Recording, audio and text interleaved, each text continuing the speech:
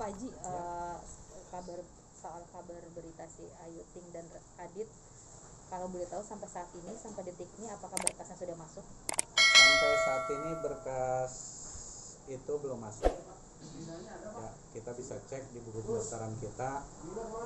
Itu memang belum masuk. Jadi seperti itu. Oke, kan ya, yang kita tahu eh, rencananya di tanggal 20 Februari. 20 Pak Haji. Februari Heeh. Nah, menuju hak hak min itu berapa waktunya sih Pak Haji? Berapa hari kan waktunya? minimal 10 hari kerja aturannya kalaupun dia kurang dari itu tinggal menambah persyaratan dispensasi dari kecamatan nanti camat memberikan surat kalau mereka berdua nikah kurang dari 10 hari kerja dengan alasan apa itu aja namanya Tapi ada komunikasi terakhir dengan pihak keluarga Ayu Ting belum Ting ada belum ada belum ada belum ada. kita belum ada komunikasi baik dari pihak keluarga atau orang yang dipercaya itu nggak ada. Kalau dari ayahnya sendiri Pak Haji yang Belum. notabene eh, mantan pegawai dia kan pemda Pemda. Pemda kalau dia kan pemda ada obrolan mungkin Sebagai sahabat. secara tidak resmi gitu sama Pak Haji kontak Sampai telepon gitu nggak ada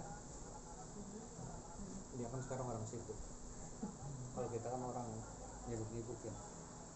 Lebih ditegaskan lagi Pak Haji kalau misalnya hak min hak apa namanya waktunya 10 hari kerja ternyata akhirnya dadakan Pak Haji bisa nggak sih tuh? Bisa aja. Yang penting surat itu tadi. Surat apa? Dispensasi dari kecamatan. Terlampir ya. Das terlampir ya? itu harus terlampir. Dan kalau nggak ada itu ya kita nggak bisa juga. Dan alasannya biasanya apa sih tuh Pak Haji kalau dapat dispensasi dari Nah, kecamatan? misalkan karena ada tugas yang membuat surat itu atau ya alasan dia lainnya. Alasan orang kan beda-beda. Pak Haji kabarnya eh, ternyata diundur nih Pak Haji. Berarti kalau berarti berkas itu nggak perlu itu ya maksudnya yang seperti tadi Pak Haji bilang harus ada Surat. bisa surat. Tergantung meskipun diundur kalaupun nanti dia masuk udah 10 hari kerja tetap aja. Berjalan. Ah, surat itu tetap dibuat. Meskipun mundur. Ah, sampai saat ini kan surat belum masuk. Tetap aja nanti 10 10 hari kerja kurang dari itu tetap buat surat. Kapan pun mundurnya.